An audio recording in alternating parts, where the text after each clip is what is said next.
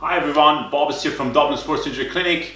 Today I'm going to show you a couple of exercises in uh, terms of how can you manage your knee injury. If you had a fall, if you had a twisted knee, or if you bang your knee to the wall and it's swollen now and it doesn't move that well and it's kind of like a little bit kind of uncomfortable when you walk around. Now you can start this uh, rehab protocol from the day after or even the, the same day. Let's go through them one one. The first thing that you can guys do straight away, even after the injury, you can start do some self-massage. Now, I have some sort of cream here. You can use olive oil, any type of oil that you have at home, just basically around the area. And if you find out there is certain area that is sore, don't actually bother those areas. Let them to be alone and you try to work around your knee and like create some sort of like circulation. And as you can see, I'm not really focusing in one place. Now, this kind of like massage, what it does, it helps you to actually uh, reduce the sensitivity of your, your knee um, initially. And as you can see, I go up to my thigh muscles, the back of the, my, my uh, muscles, um, basically hamstring muscles, my calf muscles, the shin muscles, and I'm not really staying in one place. I work around that for 10-15 minutes while I'm sitting and if I can actually um, do some sort of like gentle movement as I'm doing the massage I'll try those and I'll try to massage it in a different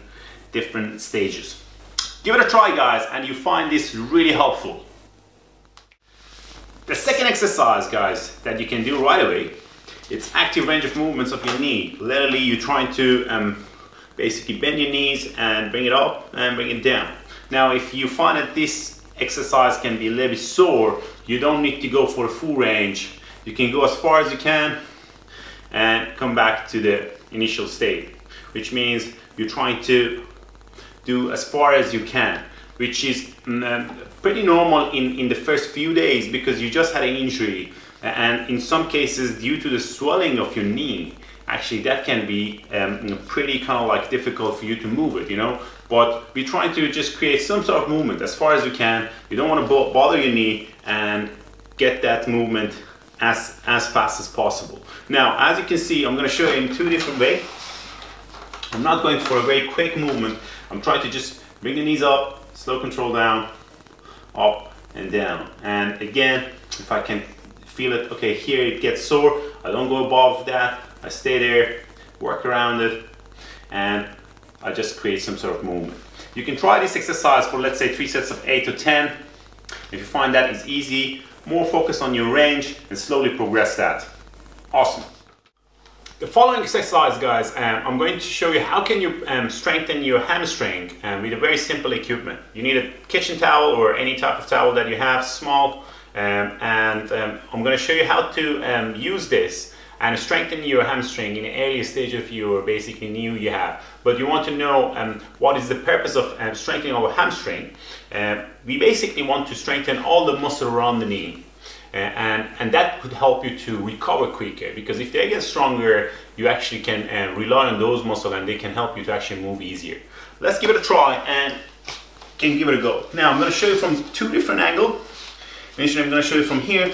You're basically seated, you're trying to engage your heel. Go a bit back. Just like that. You try to, again, go to the range that you feel comfortable. And as you can see, I'm basically engaging some of the hamstring. You can relax the other knee, slow control. If you push the knees more, uh, basically um, like the heels more towards the ground, you can get more engagement of your hamstring. Now, as you can see, I'm going for a partial range. I'm not going for full range. If you find it comfortable, you can go for all the way down, slow control back. Now, I'm gonna show you from the other side. You can see in both ways. I'm relaxing my back, pushing through the heel, and back again. Slow control, and back again. Now, as, as I mentioned on the first, um, the second exercise, uh, you don't want to push the knee too much. If you find you can only do up to here and coming back is actually difficult, you can do partial range. Go for partial range until the knee feels better and you can slowly progress it. Same as the second exercise, you can try it for um, three sets of eight to 10, slowly build it up guys. Give it a go.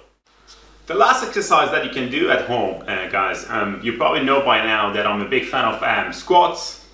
They can help you to um, just move the knee and strengthen the knee at the same time. Now, if you haven't done the squats before or feel uncomfortable with them, you can start with the seated squat, which means uh, just pick up, sit, and you don't need to go even all the way down and just have that as a support.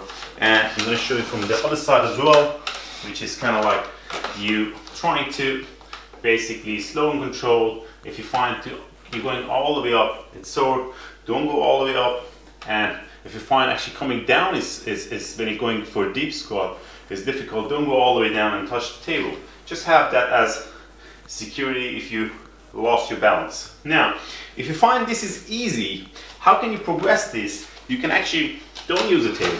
Now, to progress this, um, I have some yoga um, basically block here. You can use this initially if you find that you're losing your balance.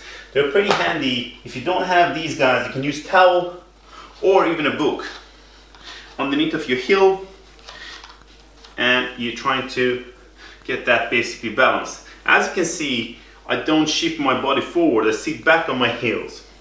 I'm, I'm doing this, let's say for a partial move, I'm not going all the way down to here, coming back. I'm gonna show it from the other side. Like literally, you're trying to keep the knees slightly wider than the shoulder and slow control down. As you can see, I'm pushing through the heels, both heels, but my foot is on the ground as well. Slow control down and coming back. Now, uh, this exercise can be a progression maybe after you find out actually you, your knee has a good range of movements and the swelling is down. Now we do have um, a two protocol as well guys in our website, police protocol and avoid harm. I'm gonna put the link underneath of this uh, video. Take a look at those.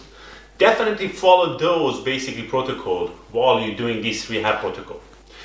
I hope you guys enjoy this video. If you uh, have any question, leave a comment. Don't forget to subscribe our channel. We have a bank of exercises that can help you to recover quicker. All the best.